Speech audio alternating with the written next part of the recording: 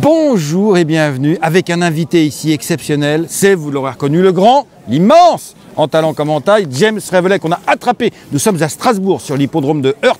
Va se disputer bientôt le grand cross de Strasbourg. Et nous avons attrapé James Revelet qui, comme en grand professionnel qu'il est, partait faire le tour de la piste. C'est très symbolique, je trouve, que tu sois là aujourd'hui, James, parce que tu viens pour un seul cheval, pour une seule montre.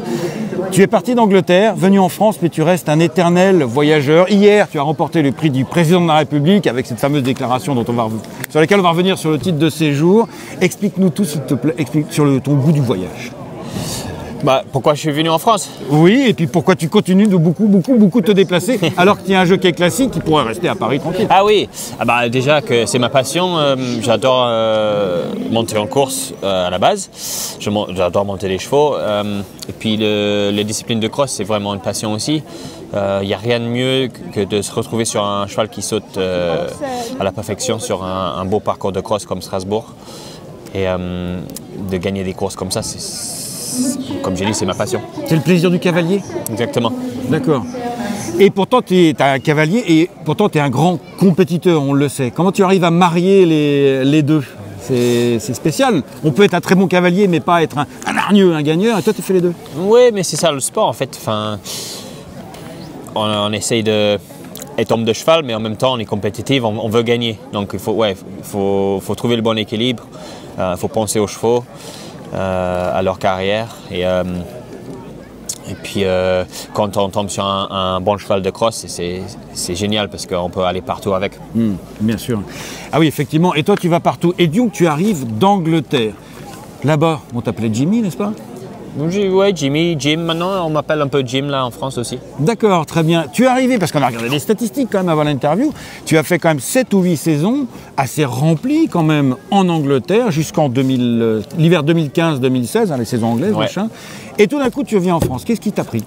Ouais, ouais, au début, bah, je suis arrivé chez Guillaume Macaire en 2008, je crois. Euh, mais je faisais que des étés. Et euh, ça se passait de mieux en mieux. Je, j'avais, je, je com- je commençais à monter quelques bons chevaux, comme Device, Stone French, etc. Euh, et puis j'ai décidé de m'installer euh, à, temps plein en 2016 en, à Royan, du coup. Et depuis trois ans, je suis arrivé à Chantilly. Et d'entrée de jeu, quand tu es arrivé à Royan, en plus, grand steep numéro 1, sauf French. Grand steep numéro 2, sauf French aussi. Grand steep numéro 3, on the go. C'était vraiment une arrivée fantastique. hein. Bon, c'est clair, en réflexion, on ne se rend pas compte tout de suite, mais en réflexion, c'est- c'était vraiment formidable ce qui s'est passé mes premières années euh, après mon installation. Oui. Mais alors, originellement, quand même, qu'est-ce qui t'a fait le déclencheur de, de- de tenter ton expérience euh, chez ces maudits français? Euh, mon ancien patron qui m'a envoyé faire un stage, qui s'est très bien passé, c'est Nicky Richards, Ah oui. euh, dans le nord-ouest de l'Angleterre. Euh, il, il avait une- la connaissance de Guillaume Macaire, avec sa fille, je crois, et euh, il m'a conseillé de faire un stage, donc je l'ai fait, j'ai adoré, et ça est parti de là. D'accord. Et t'es heureux en France? T'as jamais eu, question un peu banale peut-être, mais enfin, t'as jamais eu le mal du pays? Hmm, L'Angleterre me manque, mais je retourne de temps en temps et je prends ce que j'ai besoin et je reviens. D'accord. Mais je suis bien en France. Tu es grand. Alors, en Angleterre, les jockeys, ils sont quand même souvent plus grands qu'en France. Toi, tu es grand. Quand tu étais tout jeune, est-ce que tu t'es dit, non mais avec ma taille, je, je vais, je vais pas y arriver? Oui, j'avais un peu peur parce que j'ai mon père qui est grand, ma mère n'est pas, pas petite non plus.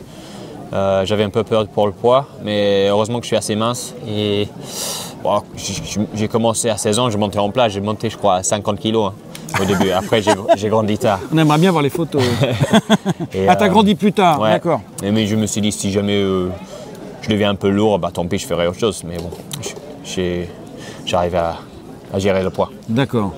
Ah oui, tu arrives à gérer le poids en faisant des régimes très très durs ou? De régime, ouais, j'aime bien manger. euh, donc je mange quand je peux- quand j'ai le droit, quand je peux. La France. hein. Et euh, ouais, je, je me sèche beaucoup, ouais. Ah oui, Mm. ouais, quand même. ouais.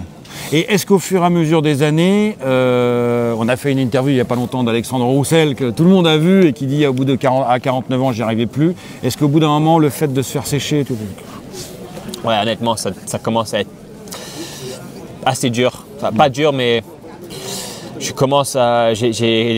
récemment, j'ai dit aux entraîneurs que je monterais euh, quasiment plus à 66. Je vais augmenter mon poids minimum à 67.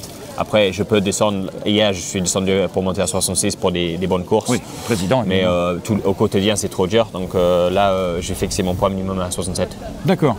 Et, ah oui, donc, et donc hier, tu as eu cette déclaration assez fantastique. Tu es donc un, un immigré illégal pas de titre de séjour, mais comment c'est possible Oui, maintenant tout le monde sait. Peut-être que j'aurais plus le droit d'être là. Euh, peut-être que police, va, notre prison. En Angleterre, j'espère pas. mais non, ça, me tient au cœur. Je, je, me suis dit si jamais je gagne cette course un jour, je vais, je vais le dire parce que ça fait trois ans que j'essaye d'en avoir. Je me suis pris un peu tard après le Brexit. C'est ah, pour ça que je suis en galère pour l'avoir mais c'est un problème administratif. C'est pas possible que je n'arrive pas à avoir ce titre de séjour qui me permet de, travailler en France, faire mon travail, euh, ce que j'ai fait depuis longtemps, et euh, de me permettre d'avoir euh, d'être couvert pour les hôpitaux médicalement. Je, ça pourrait créer des, des, embrouilles pour moi. Pour le moment, je, m'en sors, mais j'aimerais bien l'avoir. Bah oui, parce que tu as passé ta licence d'entraîneur. Oui. Tu as anticipé. Oui. Tu es toujours jockey. Bon, là, ces deux dernières années, les accidents, les machins, ça a précipité aussi la décision de, se dire, bon, allez, je passe ma licence comme ça, moi je tranquille. Oui, j'avais essayé il y a quelques années, en fait, que j'allais peut-être me projeter entraîneur plus tôt.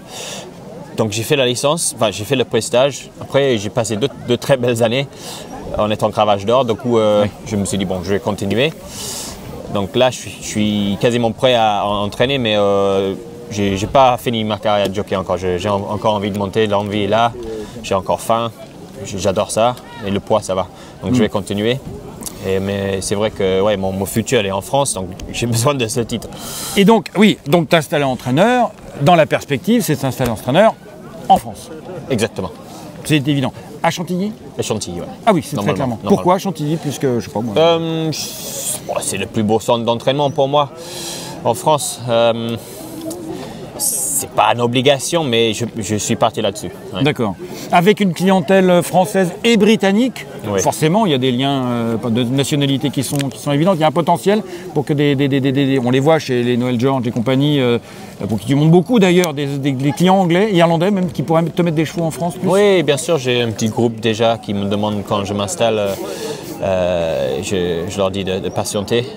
donc, je suis confiant d'avoir euh, de la clientèle tout de suite, mais euh, c'est juste euh, une question de, mettre tout en place et que ça se passe bien. Mm, oui. Alors en termes de tactique des courses, c'est une question qui se pose beaucoup, tu vas souvent devant.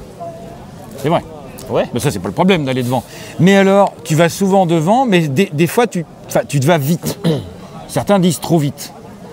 Est-ce que pour toi, c'est trop vite?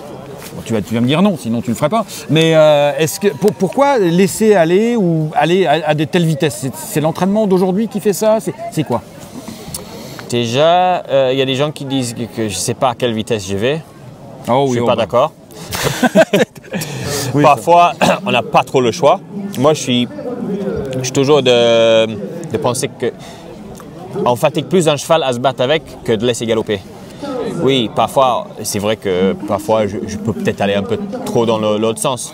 Mais euh, je préfère laisser. Tant que le, cheval il s'oxygène bien, il est dans son train, il ne va pas se fatiguer. Et euh, souvent c'est le cas.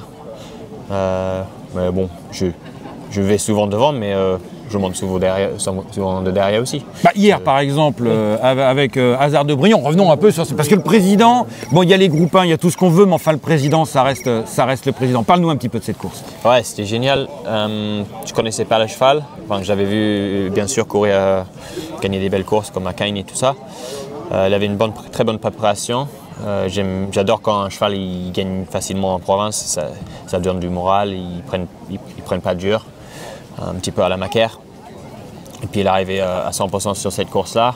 Euh, je sentais un cheval vraiment tonique tout le parcours. Il était vraiment bien dans, son élément facile, sauter à la perfection. Et euh, tout, le, parcours, j'avais aucun doute. J'étais confiant. Le propriétaire m'a dit que tu avais volontairement refusé de monter les trois premières courses du programme pour te réserver pour celui-là. non. Non? Non, mais lui, ça lui fait plaisir. ouais, là, c'est ce que j'avais pas de montre. Ah oui, d'accord. Aujourd'hui, par exemple, et dans les deux années à venir, mettons, tu vas monter deux ans avant d'être entraîneur, et tu vas donc euh, sélectionner un peu plus tes montres, monter pour plusieurs entraîneurs ou continuer à courir un peu partout euh? Je vais aller un peu partout encore, mais c'est vrai que j'ai eu une cravache d'or euh, comme objectif là, ces dernières années. C'est pas forcément, forcément un objectif cette année. Je l'ai fait. Je, je suis très. euh, je suis très. euh, c'est quoi le mot? Euh, Fier, fier de moi, fier de, le travail. Mais euh, là, j'ai envie de prendre plaisir à, euh, à monter les chevaux euh, pour mes, mes clients, les chevaux que je connais. Euh, ouais, prendre le plaisir, pas, pas me mettre trop dans, dans le dur à monter à 66 tout le temps. J'ai envie de prendre plaisir pour mes, mes dernières années à cheval. Ouais, je comprends. Est-ce que tu as le doux rêve de, avant de finir de- d'être jockey, d'en gagner une belle à Cheltenham chez toi? Ah bien sûr, ça c'est un rêve. Euh, ça c'est un rêve. Le Grand National aussi, ça c'est plus compliqué parce qu'il faut tomber sur le bon cheval, etc. Et puis il n'y en a qu'un dans l'année. hein. Ouais. Euh, alors que Cheltenham, bon, j'espère avoir le cheval en élite français. On, on va voir. J'espère que. Euh, J'espère qu'il va, va montrer à tout le monde de quoi il est capable euh, dans quelques semaines. Le, le fameux il est français qui fait ça, et des fois qui fait ça, et la dernière fois malheureusement. Ouais. Toi, j'imagine en cheval, tu t'es dit, mais ah, Ah tout ouais, j'étais euh, dans le tournant euh, où euh, quand je sentais un cheval vide, j'étais vraiment choqué. Ça m'était pas arrivé jusqu'à là avec lui. Mais bon, ce sont des chevaux. On peut pas, on n'est pas dans leur tête, on ne sait Ouais. pas ce qui se passe. Donc euh, c'est comme ça, c'est des courses. Hmm, d'accord.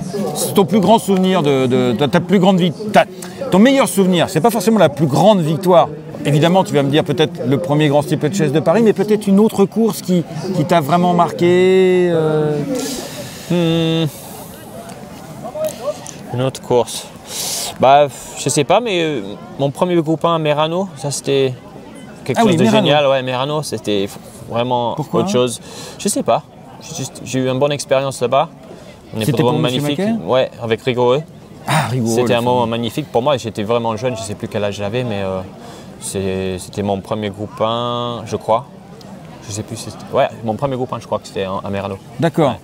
Et symbole d'un voyage, parce que tu es parti d'Angleterre, Ouais. tu arrives en France, on t'envoie en, Ita- en Italie Oui, et tu avais quel âge Très jeune? Tu as quel âge d'ailleurs aujourd'hui? J'ai 35 ans, je crois que j'avais peut-être 21 ans. Ah ça. oui, effectivement, tout un symbole. Et euh, une vraie bonne ambiance là-bas. No- notre pays, euh, notre culture, c'était, c'était, ouais, spectaculaire. Eh bien, on a hâte de continuer à te voir courir. James Revelet, Cravache d'or, le grand James, effectivement. Jimmy pour les, pour, les, pour les jeunes, pour la famille en Angleterre. Et puis, bah, bientôt entraîneur, bien sûr, mais pas avant deux ans. Hein. Je peux pas vous dire. On sait pas, on sait pas. Bah, pour l'instant, tu restes avec l'habit de lumière. Et voilà, c'était l'interview de James Revelet à l'hippodrome de Strasbourg. Avant, on n'a pas parlé de l'arrivée du Grand Cross parce qu'il n'est pas encore couru. Mais il a une bonne chance. Merci, James. Merci. Allez, bon tour de piste. Merci.